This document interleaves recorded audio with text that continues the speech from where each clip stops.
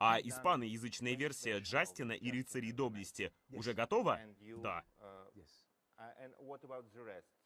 Вы озвучивали своего героя по-испански? Британские актеры, которые озвучивали англоязычную версию, такие как Руперт Эверетт, Оливия Уильямс, Марк Стронг, все эти актеры не смогли озвучить испаноязычную версию, потому что они не знают языка. Это лично мое преимущество, что я могу сделать картину на оригинальном языке, а потом перевести ее на испанский для своей страны. Еще в DreamWorks я поступал так же. Делал дорожки для Испании и Южной Америки, плюс отдельную версию для них.